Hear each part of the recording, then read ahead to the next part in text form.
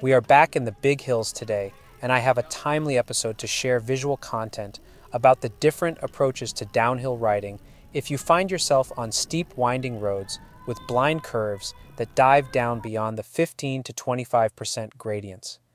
Let's dive into the physics behind downhill cycling and how it can relate to your riding technique for maximum control. First up, let's talk about the center of gravity, COG. The center of gravity is the point where the entire weight of the system can be considered to act. When you're riding downhill fast, the position of your center of gravity plays a crucial role in maintaining control. By adjusting your posture and shifting your weight relative to the ground, you can control the stability and maneuverability of your bike. When you lean back and shift more weight towards the rear wheel, Are you you are essentially lowering your center of gravity. This helps in increasing traction on the rear wheel, Hello. Providing better control, especially when you're negotiating tight turns or navigating rough terrain. This is why you might find yourself holding the handlebar drops of your road bike, going low close to the top tube of the frame, and sliding your weight to the rear wheel.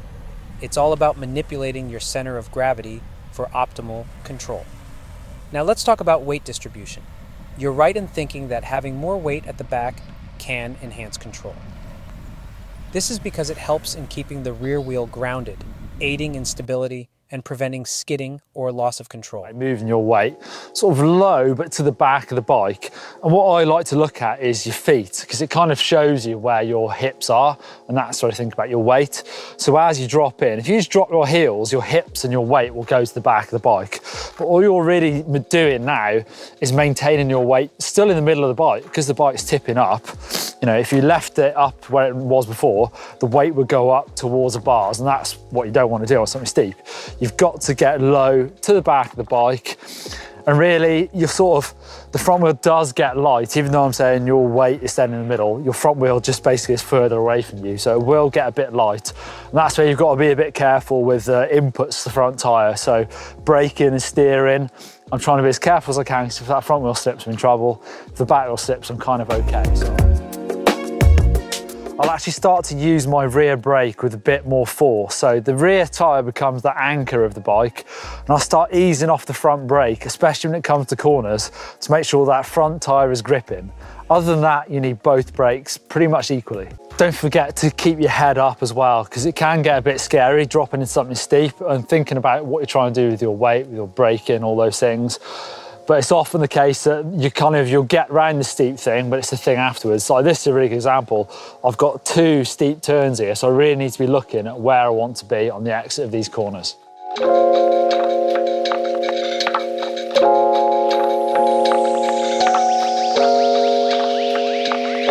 It's like having a strong foundation to support your movements and maneuvers. Examine the engineering of sports cars. The principle of center of gravity and weight distribution also plays a vital role. Sports cars are typically designed to have a low center of gravity by positioning their engines and other heavy components closer to the ground.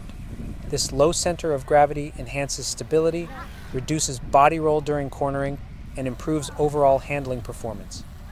Additionally, wider tires at the back of sports cars help in enhancing traction for better acceleration and control, especially in high speed situations.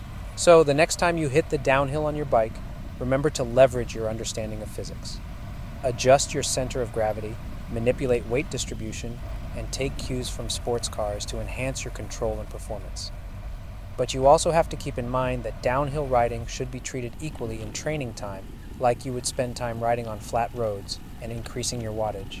Do not irresponsibly copy and paste what you see here. Practice it. Downhill riding is a skill and art. No wonder there is a sport dedicated to World Championship downhill skiers and downhill mountain bike events. It's because it's a skill to train. Our destination today will be in Buso Buso in Laurel, Batangas. I've never been there before, but Nikki recommended that it's one of those landmark must visit. It's a landmark because most important cycling events take place here because of its 25% mythical gradient. We start in Talisay Taal Lake after that long 12 kilometer downhill. From here, you can clearly see the Taal volcano, world famous for its elevation. It's considered the smallest volcano in the world.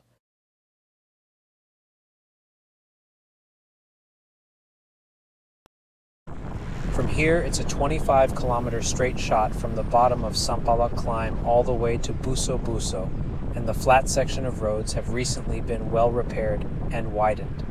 Recent government infrastructure initiatives have widened these roads, making it very, very good for cyclists to use. Decades ago, when I was younger, these roads were really, really narrow, and you would have to dodge tricycles and jeeps and buses and cars, so I'm fairly surprised how well maintained and the state of rehabilitation. As we go along this section of road around Taal Lake, we will approach the first climb of the day, and this climb, according to Nikki, is around 18% in gradient.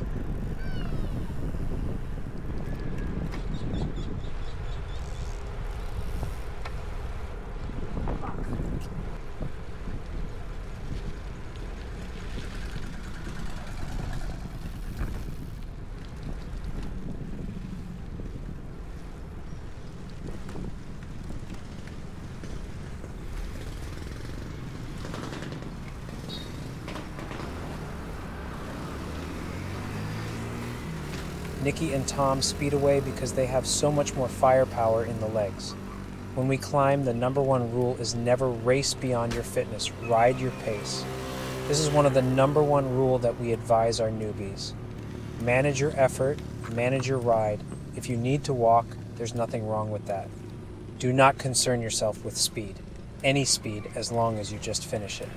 Rule of thumb if we are on a community group ride, we always practice a no drop ride rule.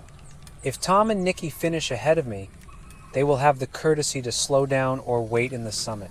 It's just a form of courtesy that we extend to all our members, just to keep them encouraged and motivated.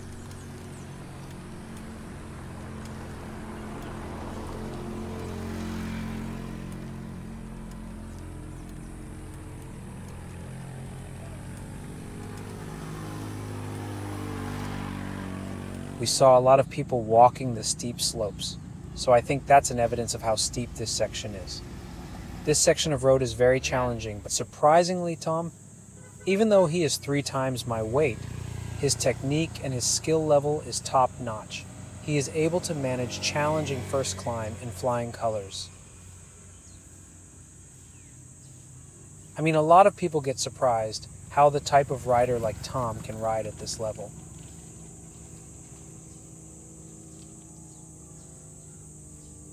Julie also climbed smoothly and showed her own climbing skills, considering these two riders come from different backgrounds. So as for me, I just had to keep grinding. It's a huge disadvantage if you have a large time trial crank. This bike is fitted with a single 58 tooth chain ring, but you never make that an excuse. Just manage it. And when you manage it, you're going to survive the ride because part of the training is really about making sure your body adapts to the stresses. So, even though there are numerous climbs along the way, going to Buso Buso, all you have to do is manage your effort. The way you hold the bike dictates how you climb. And if you notice, the more difficult the gradient becomes, the more that you have to really focus on your posture. I try my best not to swing from side to side or else I'm going to lose a lot of torque.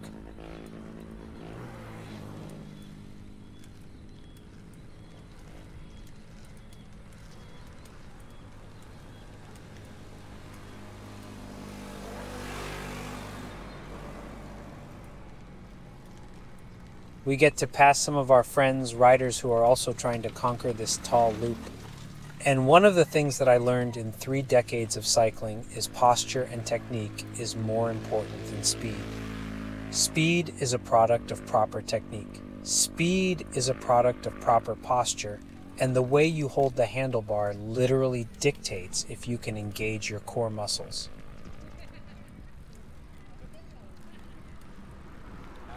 In true form, Tom and Nikki were courteous, not sprint away so I was able to catch up when the gradients became manageable at 10%, 9%. This one I can manage even with a single chain ring.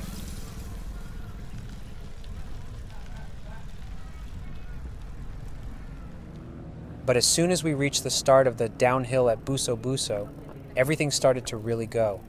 So if you can see the map, we are here now at the summit. This is the same downhill that I will have to tackle when we make a U-turn.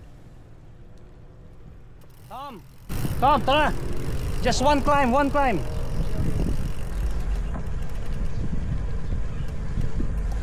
This downhill is a little bit fast and treacherous, 22% at the top, 25% at the bottom. This is when the discussion about center of gravity, putting all the weight at the back, makes the bike a little bit more controllable. Remember, the roads are not smooth asphalt, so the more that you put weight at the back, the easier tackling this descent easier.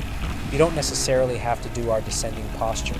It's just me and Tom, just because we're very comfortable on this posture. In your case, you can stay seated on the saddle, just stay as low as possible, and put your weight at the back, and you'll be able to manage. And that's that.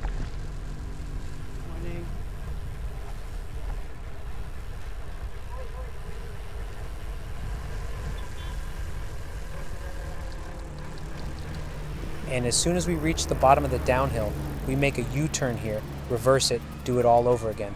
But this time, that downhill becomes the uphill. This store became our landmark U-turn.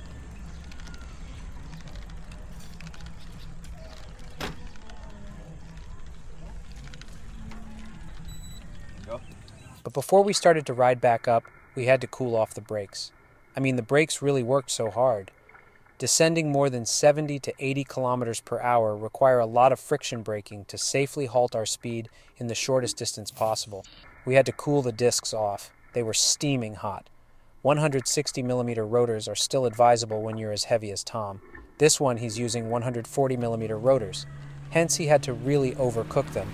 And I think today he had to upgrade to 160 rotors.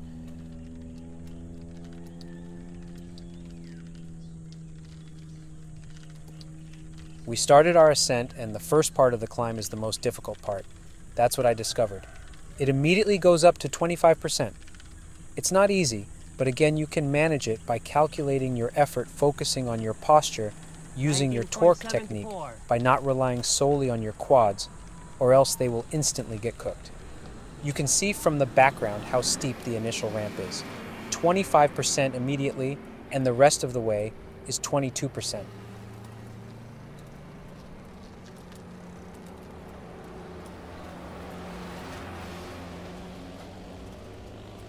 I had a hard time in the first section because it's 25%. I almost took out Tom because I was almost standing still. I think my speed here was around 2 to 5 kilometers per hour, and I had to just let Tom overtake, so he immediately sprinted ahead of me. His acceleration was possible because he had a small chain ring.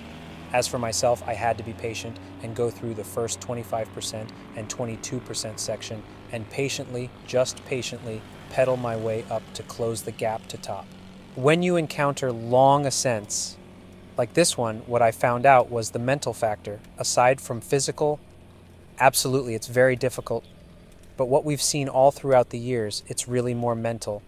The moment that you think about anxiety, you get a panic attack, you'll literally stop. This is the most important part.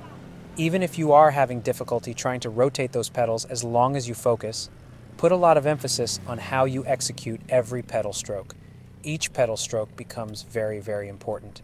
And the next thing you know, if you just focus on that, you will get your groove on. Everything starts to work together again.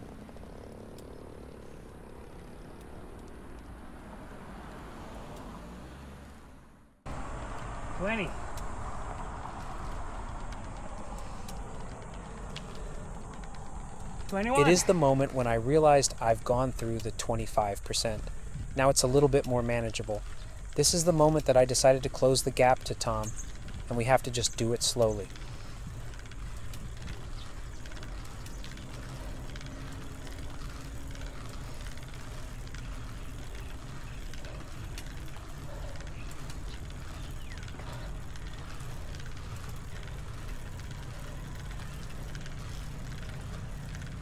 Creep up quietly.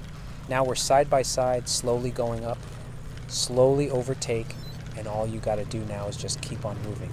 Do not look back. The more that you look back, the more you will lose momentum. This is where you lose a lot of torque.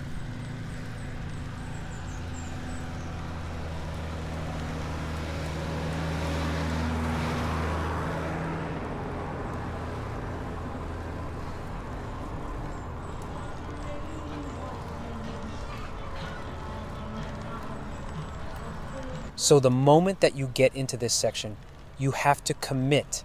The more that you think about it, the more that you're going to lose a lot of power, the more that you're going to lose a lot of torque. Commitment and not questioning it is the most important part. Kudos to Tom. I mean, for his size, he was able to really manage going up. This is why a lot of people consider Tom as an outlier and give hope to a lot of our big riders. I mean, considering I am three times less his weight, he is able to put a lot of power.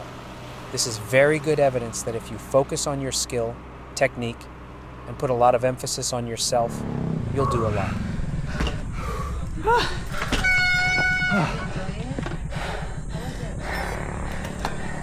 Talk to me, guys. Talk to me.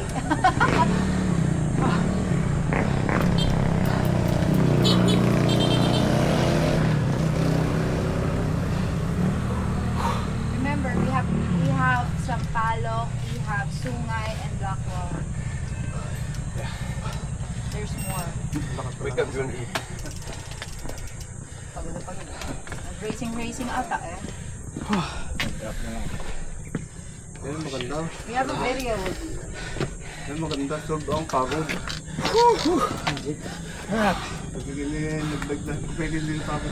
ang di masarap.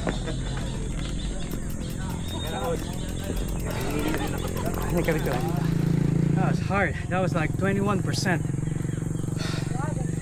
On a 58, 58, 32. So I guess this is one of those famous places where people stop over because it's insane gradient.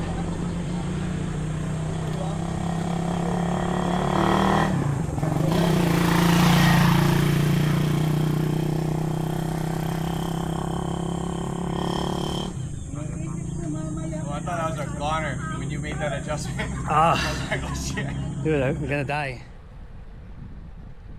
After consuming a lot of water and taking a few minutes of rest at the summit, we proceeded back to the Sampaloc climb with our finish at Tagaytay Ridge. To get there, we had to pass through the brand new roads of Laurel on the side of the lake. The beautiful asphalt roads were a welcome sight to me with Tom riding behind, followed by Julie, Richie, and then Nikki. Today was a really good sunny day. The summer season officially ended, and everything already felt cooler than usual.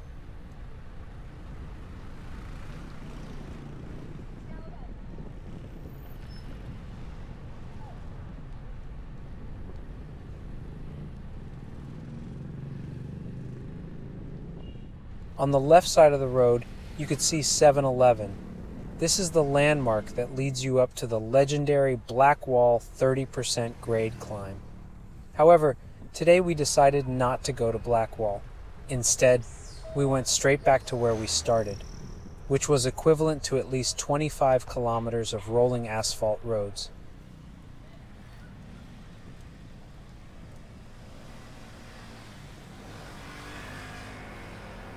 Here, we were able to do a lot of baseline riding, drafting, and paceline choreography. This type of riding require a lot of group etiquette awareness.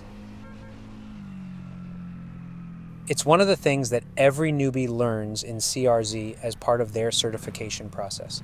When encountering traffic like this, you cannot panic. No shouting. In CRZ Community Ride, part of the etiquette is to never shout profanity to tricycle drivers, public transport, or even pedestrians.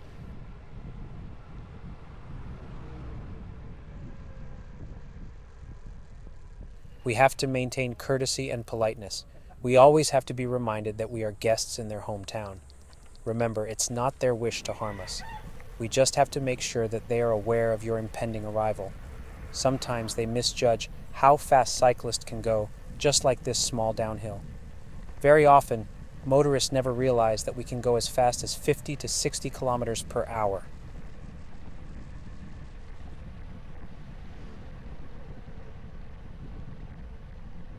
It's up to us to practice defensive riding. If we stay courteous, I think we can develop the culture where cyclist and motorist are able to respect each other. How cool is that if we can all share this brand new roads that have recently popped up all over the Philippines?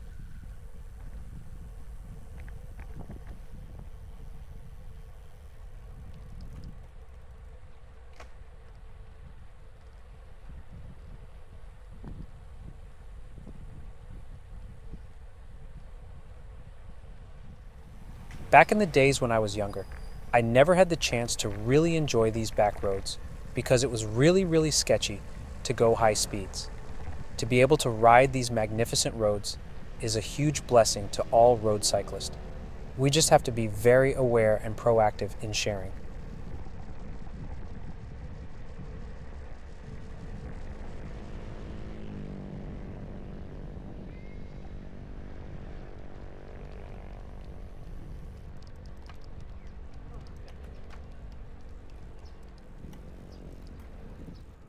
After 25 kilometers of riding, we finally approach the intersection that leads us back to the Sampaloc climb.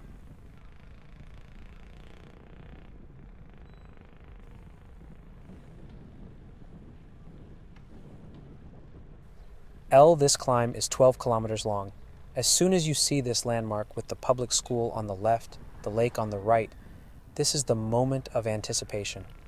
As soon as you turn left, the incline immediately starts and become uninterrupted for the next five kilometers.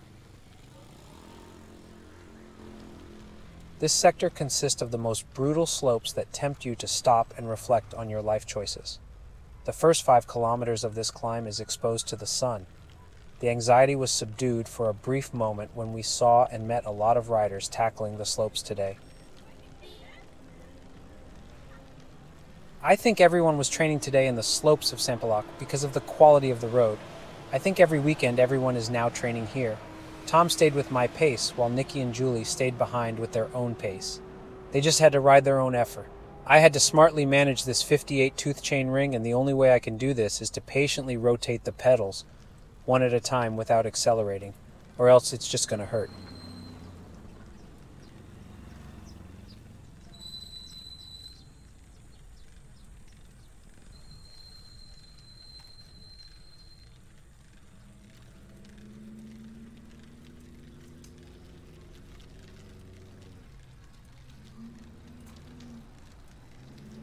As we cover the first few meters, we get to encounter some of key switchbacks.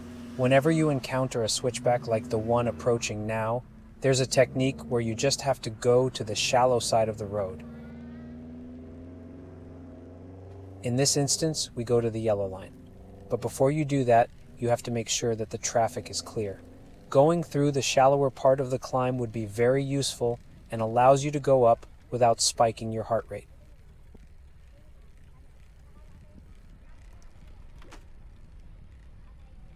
From a distance, we find our friends who were up on the road and kindly became our visual targets. Sometimes, when you are confronted by a climb that is 12 kilometers long, your number one competition is your mental sanity. It's so easy to get reminded how far the finish is, and very often you are tempted to just stop the pain and slow down. But for this challenge, we try to use riders ahead of us as visual magnets.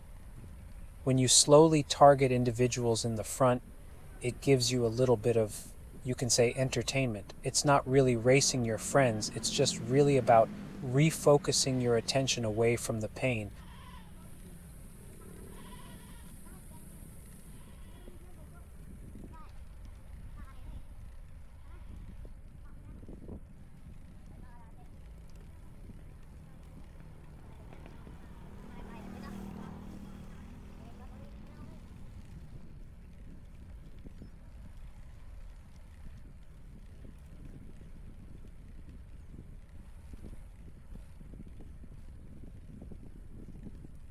The best lessons that I learned in my three decades of cycling is the value of patience and playing the long game.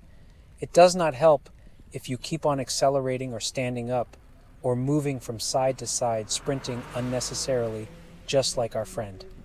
This habit will spike your heart rate. The next thing you know, you find yourself blowing up and sitting on the side of the road.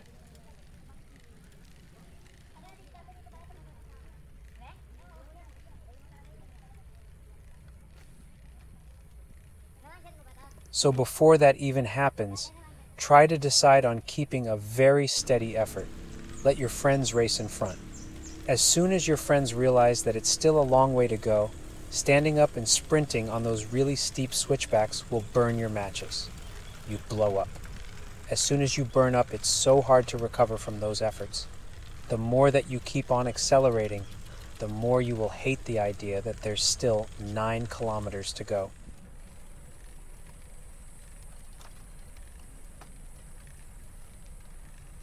Once that lactic acid hits your legs, you're done, and the only way you can remedy that difficulty is for you to slow down or stop. As we continue to ascend, remembering proper posture and technique is vital in surviving the climb rather than speed alone. Enjoying the journey and pacing oneself is more important, similar to how Tom utilizes proper technique and strength management in his climbs. We look forward to meeting you at the top in the next 10 minutes, where we will engage in a lead out game for the final three kilometers. Remember your posture and your technique plays a major role on how you can survive. To finish a climb, it doesn't mean that you have to be fast. All you have to do is just ride your own pace. Even though Tom is a heavyweight, he knows the proper technique and manages his own limited strength. So if you can do that, you'll enjoy every single climb, every single ride.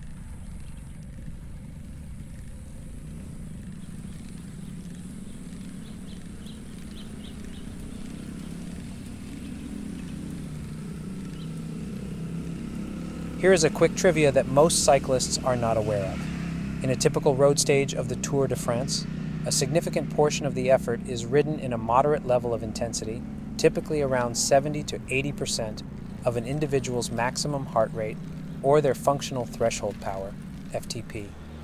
This approach is strategic and rooted in the physiology and tactics of professional cycling. The main reason behind spending a considerable amount of time in Zone 3 during a road stage is to establish a sustainable pace that allows the riders to conserve energy for the critical phases of the race. The, by riding predominantly in Zone 3, cyclists can maintain a relatively high pace while avoiding excessive fatigue that can lead to burnout later in the stage. Endurance plays a crucial role in multi stage races, and pacing oneself smartly is key to ensuring consistent performance over your own long rides like Audax, where the most popular distances in the Philippines are the 400 kilometers and now the 600 kilometer Super Randonneur. Furthermore, keeping wattage at a minimum in the early part of a stage is a strategic move to preserve energy reserves for crucial moments later in the ride. Cycling is a sport where timing and tactical awareness are paramount, especially in events as demanding as the Audax 600. By riding at a controlled pace early on, riders can save their explosive efforts for key points in the stage, such as climbs or the final push to the finish. This strategic allocation of energy allows cyclists to make decisive moves when it matters most, leveraging their power output for maximum impact and increasing their chances of success.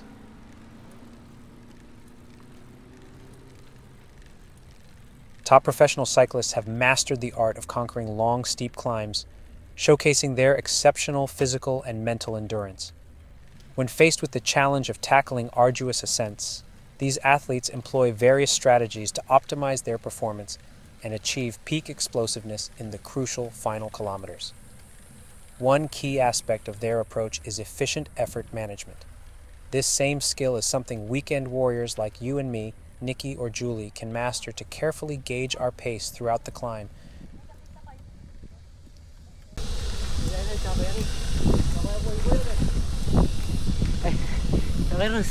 Balancing the need to exert just enough power to maintain momentum with the imperative of conserving energy for the demanding final push instead of constantly standing and sprinting unnecessarily.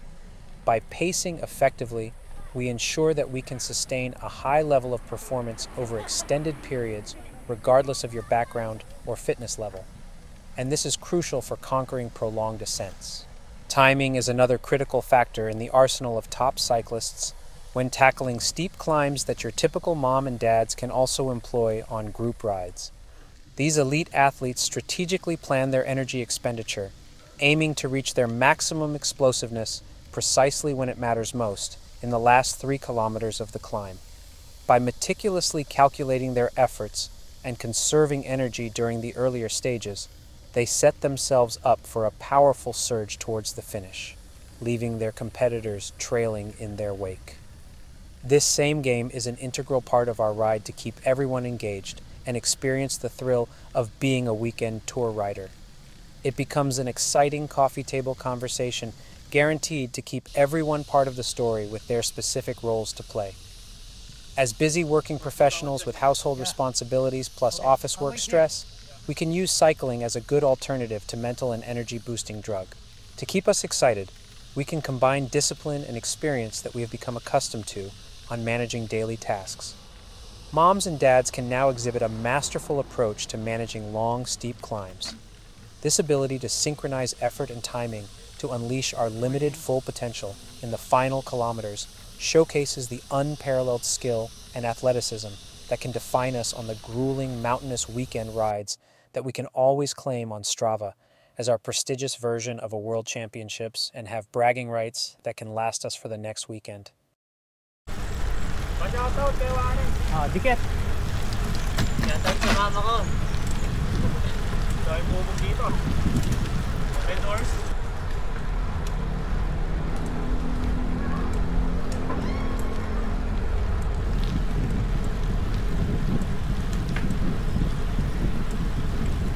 Come on, dikit.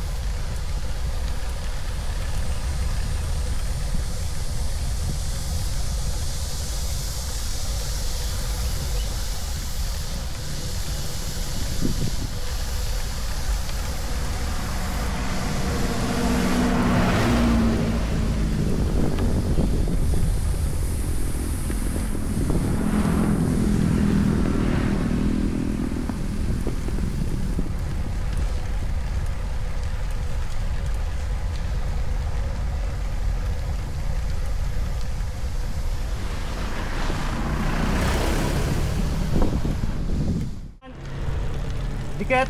Come on, come on, come on. Yan, 200 meters to go, ah. ha? Alright, 300 meters to go.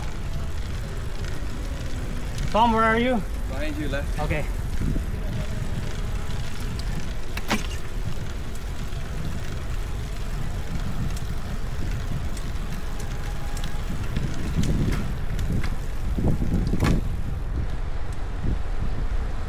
Stay with me.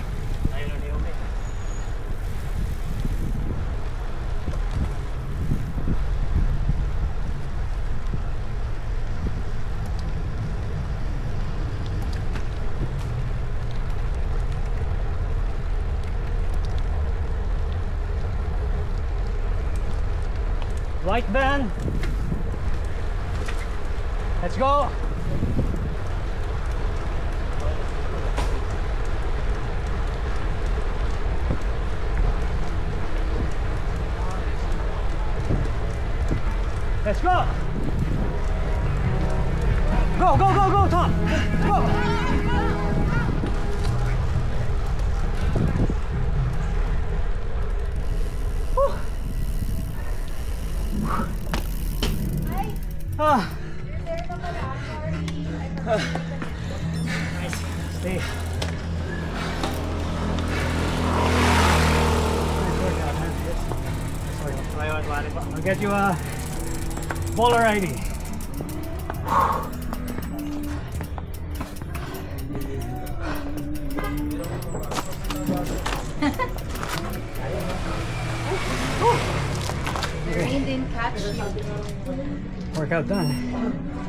Wow, that was a super cool sprint.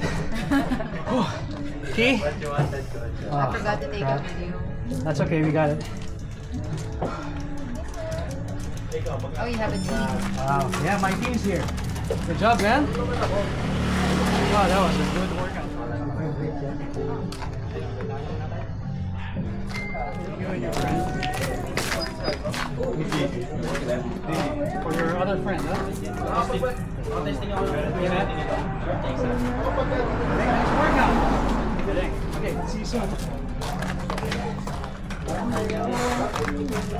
Solid.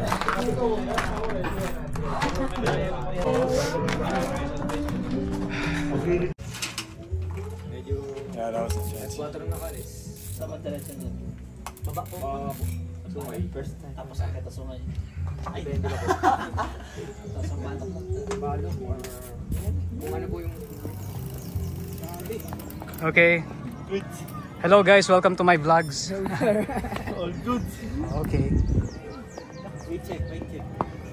Kilo. Gravel type. Yeah, go ahead. Go ahead. Try all you can.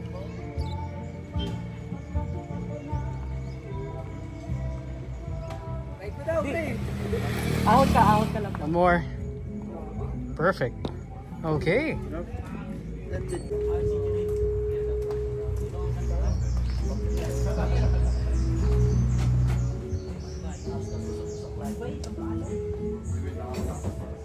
Bye.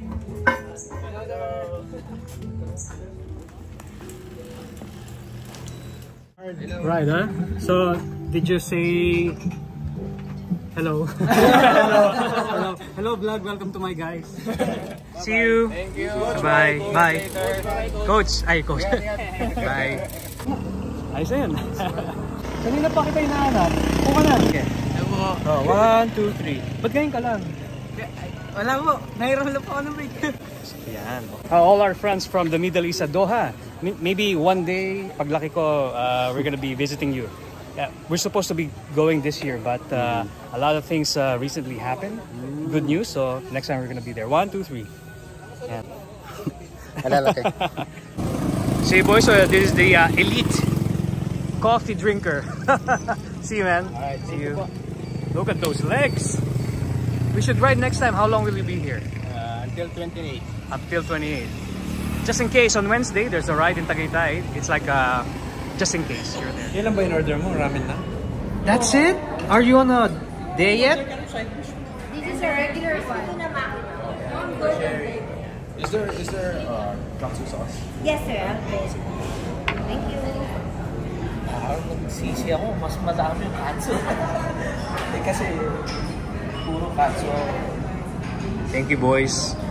Cycling transcends boundaries and unites us in a language of shared passion. It's a world where smiles and good vibes have the power to transform entire days, creating connections that go beyond background or status. A simple hello or wave can brighten someone's day and foster a sense of community among strangers. Through cycling, I've discovered the beauty of diverse cultures and learned to appreciate the richness they bring to our lives. It has shown me that sports aren't just about cutthroat competition, but can also serve as a platform for building communities and fostering understanding. In a time when social interactions were limited due to COVID lockdowns, the value of face to face friendships became even more evident. We realize the significance of these connections only when they are absent. Cycling has allowed me to embrace this truth and cherish every moment of togetherness. Let's remember that life is a journey best enjoyed in the company of others.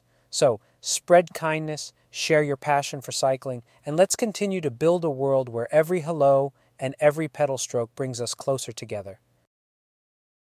Cycling Club. Thank you for joining me on this cycling journey. I hope you've enjoyed and learned something valuable from my vlogs.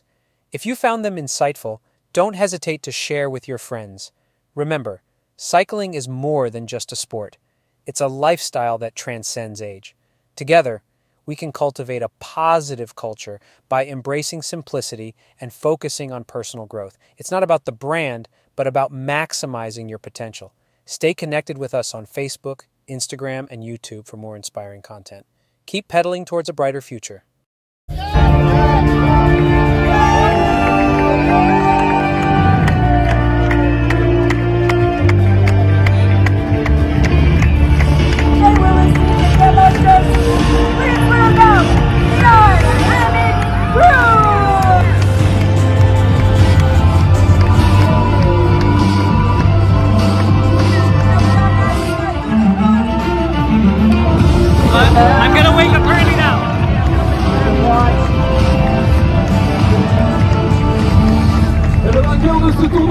C'est lui, le coureur danois. 166K or 137. Yes, the winner of the of the Tour de France, representing Yellow jersey. Leon Amateur. Voilà, qui va recevoir bien sûr le maillot jaune, le Lion XL en présence d'Anne Hidalgo, Madame le maire de Paris et de Michel Mathieu, directeur général de congratulated by Anne Hidalgo, the mayor of Paris, alongside Michel Mathieu, the general manager of LCA. because of you, pouvoir Thank you very much. guys tout à l'heure. Il est revenu bien sûr avec l'enfant, le cotillon. Eh bien, on va dire que euh, la famille Vingegaard va sans doute euh, faciliter à trouver quelques peluches à offrir à la petite Frida le soir quand elle aura du mal à s'endormir. Again, just celebrating the moment here every single day, telling us, you know, we still have a few more stages. There's still, we have to cut the finish line. We have to go all the way. You are here now. You've made it all the way. On top of the world. Voilà, on entend le public évidemment euh, qui crie son nom. Beaucoup de supporters danois présents, bien sûr, tout au long du parcours. Le Danemark, eh bien, nouvelle nation très forte euh, du cyclisme international. And first place with a time of 2 hours, 26 minutes and 44 seconds. Bib number 334, Leon Cruz. Give it up for the gravel men 40 to 49 age group. These are the OGs.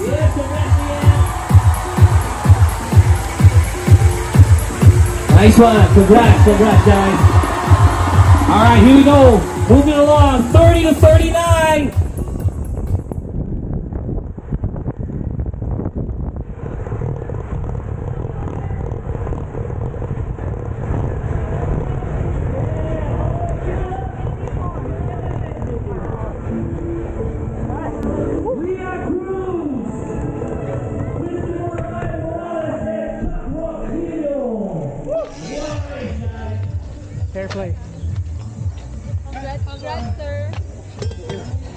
Man.